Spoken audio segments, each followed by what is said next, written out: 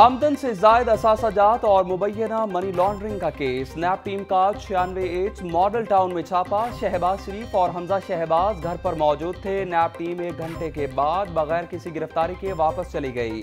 हमजा शहबाज कहते हैं, नैब एहलकार सुपरमैन बनकर मुझे गिरफ़्तार करने आए। चादर और चार दीवारी का तकदस पामाल किया गया। नैब ने जब भी बुलाया, तहकीकात के लिए पेश हुआ। अदालत के फैसले की धज्जियाँ उड़ाई गईं।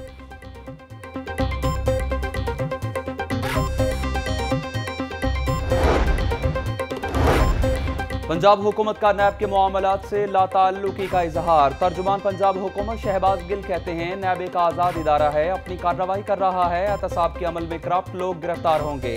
हो सकता है आने वाले दिनों में हमारी जमात से भी लोग पकड़े जाएँ।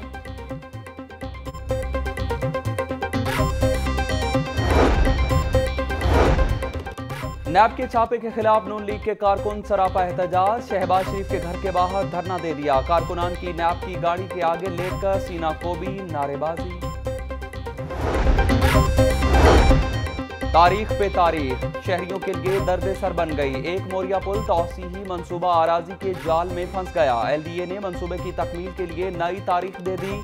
कॉन्ट्रैक्टर्स को अब 30 अप्रैल की बजाय 21 अगस्त का वक्त दे दिया गया।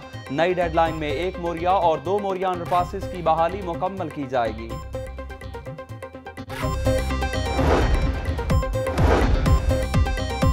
और डकैती का नया रूप, जपटना, जपटा ग्रुप मुतहरक हो गया। खातन के परस और मोबाइल जपटा ग्रुप को छीनने वाले गिरोह की तादाद में इजाफा। शहर में 100 से जायद मुलजमान जपटा ग्रुप की वारदातों में मुलविस। पुलिस को